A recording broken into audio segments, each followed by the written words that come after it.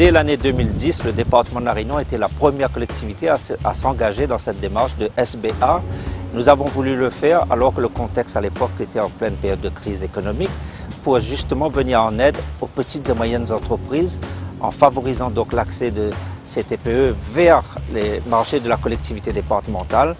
Et le but c'était pour nous de leur offrir de l'activité aux meilleures conditions possibles et surtout à travers une démarche de simplification des procédures administratives. Le département a déjà engagé des démarches de simplification des procédures de commande publique. Cela passe par la dématérialisation, l'amélioration des délais de paiement, le système des allotissements qui permettent un meilleur accès, encore une fois pour les petites et moyennes entreprises, à nos marchés publics, et puis la pratique du juste prix, parce que les petites entreprises, nous, irriguent le territoire de la Réunion et comme le département est implanté sur l'ensemble de l'île, il est important que quand nous intervenons dans le sud, que ce soit des petites entreprises, petites moyennes entreprises du sud, qui puissent répondre dans l'ouest ou l'est, c'est pareil. Et donc je veux